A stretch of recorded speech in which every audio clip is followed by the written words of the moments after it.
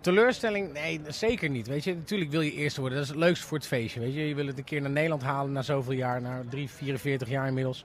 En, uh, en, en, ik denk dat je dat moet doen door je nek uit te steken. En dat hebben we absoluut gedaan. Ik vind dat we die plek niet verdiend hebben. Maar goed, dat is de plek die we toegedeeld gekregen hebben. En ja, prima. Blijf vooral vasthouden aan je ding. Weet je, we zijn eigenwijze Hollanders. En, en ik denk dat we juist wij het voorbeeld moeten geven uh, in, in tolerantie, in uh, liefhebben van elkaar. En, en iets doen waar we voor staan. Ik, volgens mij is Nederland zo'n land. Ik hoop dat Nederland zo'n land is. En dat hebben wij in ieder geval gedaan. En ik ben ontzettend trots. En Israël?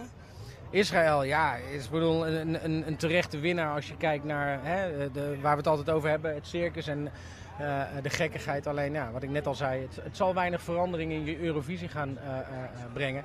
En dat vind ik wel jammer, weet je. Er mag wel eens een keer wat gebeuren, weet je. Vorige keer was het een, een vrouw met een baard en nu is het een kip, weet je. Ja. Zou je nog een keer mee willen doen? Ik ga gewoon zeker nog een keer meedoen, ja hoor. Ja.